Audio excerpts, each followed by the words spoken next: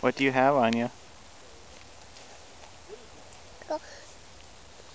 Go, snow. What are you doing with it? Eating it.